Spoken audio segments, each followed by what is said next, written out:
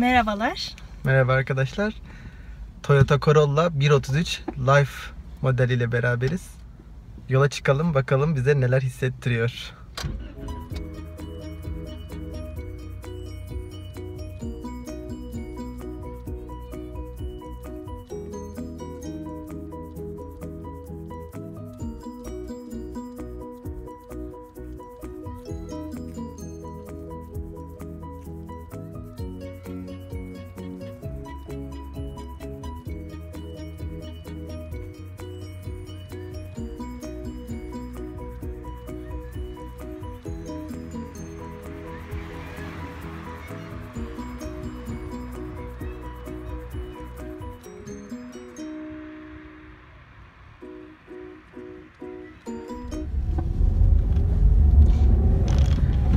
Motordan ve sürüş özelliklerinden başlayacak olursak hani motorun tepkileri nasıl?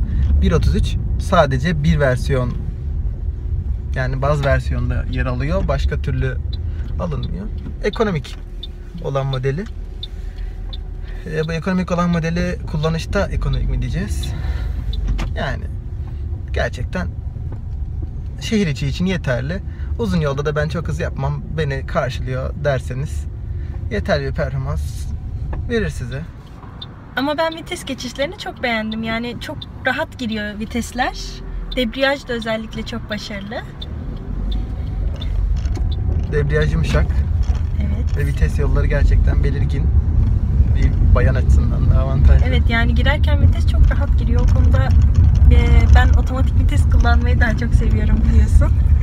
Ama bu arabada yani kullanış açısından çok hoşuma gitti diyebilirim.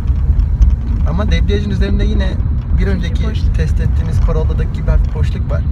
Onu da ekleyelim hani. Demek ki bütün Toyota'larda olan bir sorun mu Bir de daha yeni bir araba.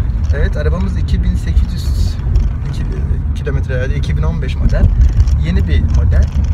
Ama motorun 1.33 olduğunu söyledik. Çekiş konusunda çok kişinin kafasında bir soru işareti olabilir. Bunu aydınlatmak amacıyla yardımcı olalım. Zaten şehir içine yeterli bir motor. Gayet yeterli. Hani çok üzmüyor. Şehir dışında da hani ben çok hız yapmam böyle ani atak sollamalara çıkmayacağım derseniz iyi ama en önemli dezavantajı 0.10'da 3 farklı. E, CC. verginin artması. E, yalnız kabin yalıtımı biraz başarısız gördüm. İçeriye çok fazla ses alıyor sanki. Genelde ama Japon araçlarında oluyor. Evet yani daha iyi bir yalıtım olabilir. Yalıtım gerçekten en zayıf olduğu nokta. Ki yüksek hızlara çıktığımızda gelen rüzgar gürültüsü de biraz daha yüksek kabine giriyor. Makyaj aynasının ışıksız olması baz model olduğu için bence kötü. En azından bir makyaj yaparken şöyle karanlık bir tünelden geçerken. E, ben isterdim. Özellikle bayanlar bunu ister sanırım. Evet aracımız baz versiyon bir model. Baz versiyon model olduğu için bazı donanımsal eksiklikleri var. Yalnız şurası çok önemli bir nokta. Bir üst versiyon aldığınızda Toyota Touch modeli var Ee, ya da mesela Advance modelleri. Diğer modellere geçiş yapmak istediğinizde hemen bir üst modele geçmeye çalıştığınızda fiyat farkı birden inanılmaz şekilde artıyor çünkü motor da değişiyor. Fiyat farkı ne kadar artıyor derseniz yaklaşık 12 bin liraya yakın bir fiyat farkı var diğer modele geçiş yapmak istediğinizde. Donanımsal olarak farklılıklar neler derseniz hani birinde işte touch var ve aktif var. Bunların farkı birinde alüminyum alışımlı jantlar var. Diğerinde de e, ortadaki Toyota Touch ekran bulunuyor. Ama bence 12 bin liralık fiyat farkı hani 1.6 motor için ve bu denli donanımlara değer mi bilmiyorum. Hani diğerinin sis farı var. Krom gösterge çerçeveleri var. Direksiyon simidi deri yani. Çok da büyük bir farklılık içermiyor açıkçası.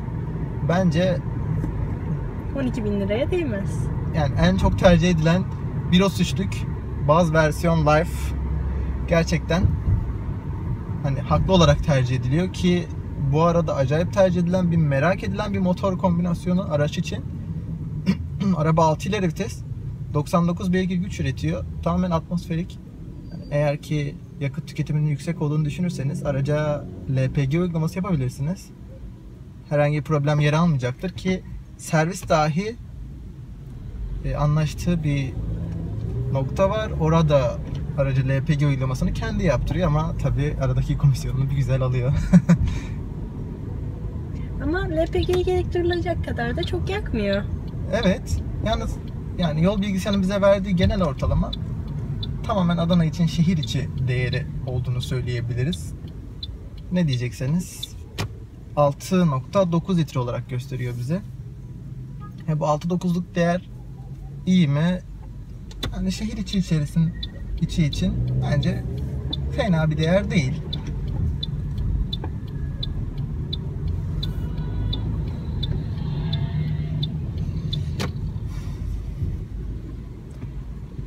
Ee, aracın yol bilgisayarındaki bir eksiği söyleyebilirim.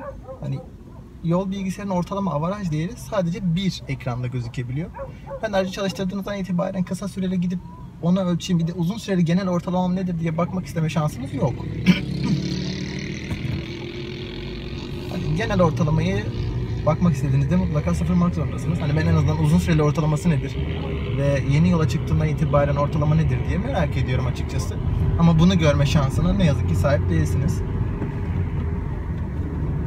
Ama ön göğüste çok güzel ee, bir malzeme kullanılmış bana göre yukarı tarafta. Evet yukarı tarafı yumuşak. Şurası birazcık daha sert ama burası da çok sert değil. Sert.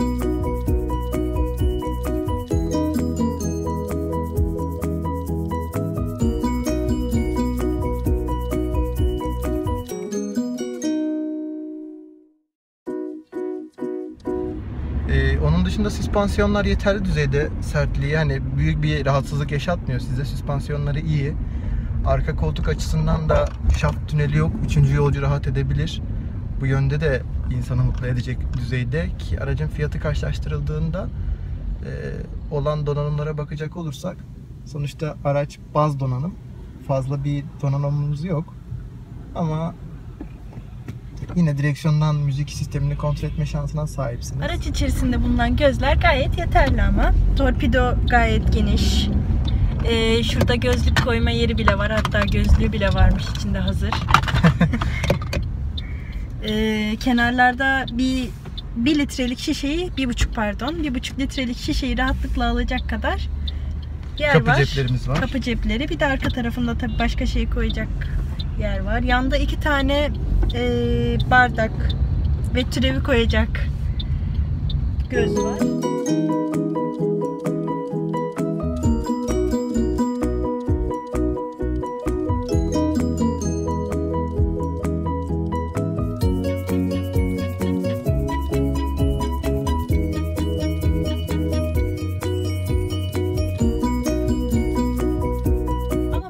Model olmasına rağmen koltukların bej olması bence daha lüks bir hava katmış arabaya.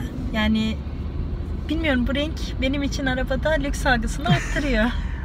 daha aydınlık durması avantajı var ve bunda bir dikkatimi çeken özellik 5 koltuk aldığınız emniyet kemerleriniz de bej geliyor. evet bu Golf'te bile yok.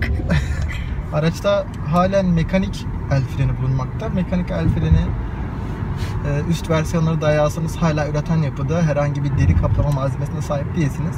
Yani aracın üstüne aldığınızda ne oluyor? Ucundaki tuş hmm, gümüş böyle metalik bir kaplamaya sahip olmuş oluyor.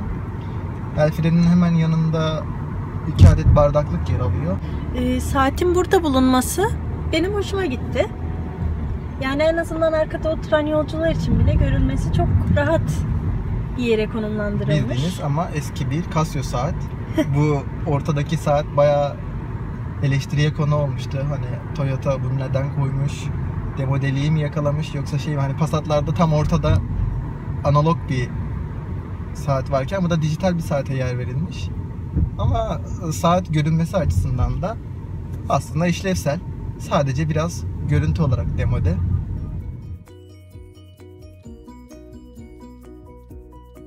Aracımız 16 inç jantlara sahip ve kapaklı.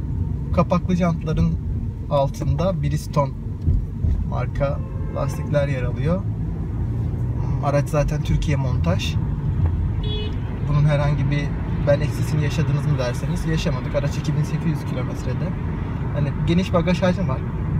Ufak aileler için geniş bagaj, arka yaşam alanının genişliği açısından ufak aileler için ve ekonomik bir araç olmasından dolayı tercih edilebilir. İkinci eli çok kuvvetli bir araç. Sonuçta Toyota sağlamlığını kanıtlamış. Motor olarak herhangi bir arıza çıkarmıyor. LPG'ye uyumlu. Gerçi sen çok LPG'yi sevmiyorsun hemen.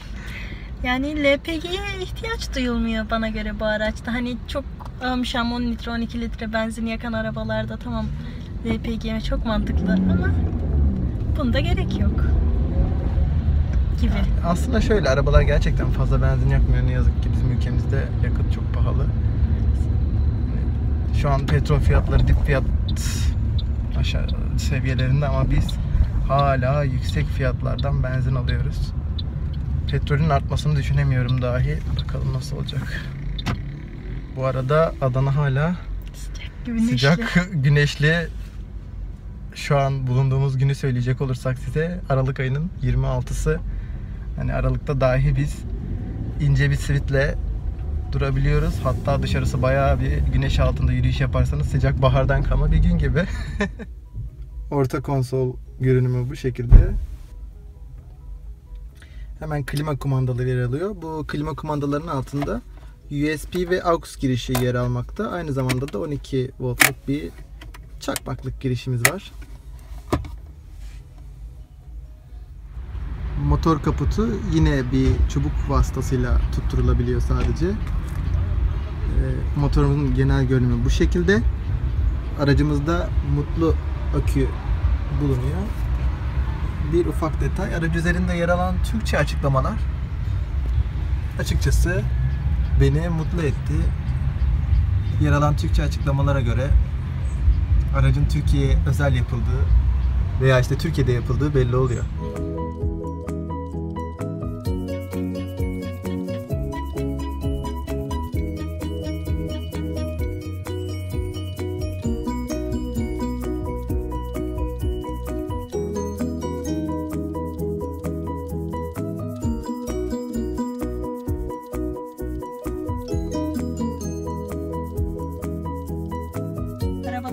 Çok sevdiğim şeylerden biri de cam açma tuşlarının tek tuşla tamamen açılması. Mayıs 2015'ten sonra da Aynen. Corolla'ya eklendi bu özellik. Bence çok da iyi oldu. Yani daha önce sadece sürücü tarafı tek dokunuşla açıp kapanıyordu. Şimdi tüm camlar. Şimdi tüm camlar All Auto şeklinde zaten bir yazı not düşürmüş e, cam kumandaların hemen yanına. Bu da güzel bir detay. Corolla'nın paspasları da ince düşünülmüş bir şekilde 5 olanlarında 5 şekilde konulmuş. Bence çok ince düşünülmüş bir detay. Gösterge tablomuz bu şekilde. Şurada yer alan shift görüntüsü vitesi artırmayı ve azaltmayı gösteriyor. Sol taraftaki devir saatimiz ufak kullanılmış ve ortada büyük bir şekilde e, hız göstergesi yer alıyor. Direksiyon üzerindeki display tuşu ile yol bilgisayarıyla verilerini değiştirebiliyorsunuz. İşte range yani daha ne kadar bulunan yakıtla gidebileceğinizi görebiliyorsunuz.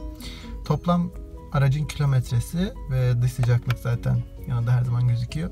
İki tane sıfırlama yerimiz var. Trip A ve Trip B olarak iki adet kilometre sıfırlayabiliyorsunuz. Ancak benim istediğim ikinci bir e, avaraj ortalama tüketim değerini elde edemiyorsunuz. Ne yazık ki. Genel tüketimimiz gördüğünüz gibi 6.9 bu yaklaşık 700-800 kilometrelik şehir içi Adana için değeri. E, direksiyonda yine ses değiştirme ve radyo kumandalar, radyo için değiştirme yer, e, yer alıyor. Hemen sol tarafa geçtiğimizde ayna kumandaları yer alıyor. Left ve right e, aynayı ayarlayabiliyorsunuz. Far yükseklik ayarı yer alıyor. Burada da çok ufak bir işte fişleri koyabileceğiniz göz yer Arkanın koltuğun fotoğrafını çektim ancak oturup deneyemedik. Bizim tatlışın mini minimizin bebek koltuğu yer alıyor arkada. Ama seyahatlerde herhangi bir problem yaşatmadığını söyleyebiliriz rahatlıkla. Ee, bir eksi olarak söyleyebileceğimiz ortada bulunan kol dayamanın herhangi bir yükseklik ayarı veya e, ön Geri. arka geri ayarı yok. Hani ben kendi sürüş pozisyonunda belki biraz daha yakın olmasını isterdim. Hani yükseklik ayarı veya ön arka ayarı yapamıyorsunuz. Derinlik açısından da hani iki kademeye sahip, genişliği gayet yeterli. Herhangi bir kaplamaya sahip değil ama genişlikleri yeterli.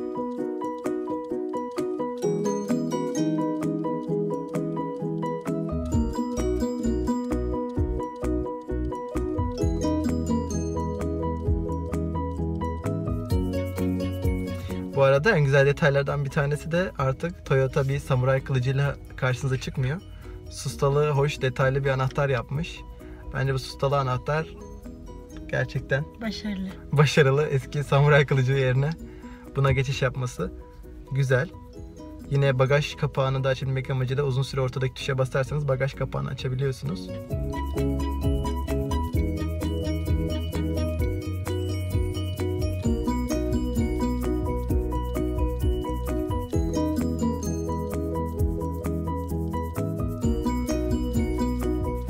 Tekrar görüşmek üzere. Otopark ailesine selamlar. Selamlar.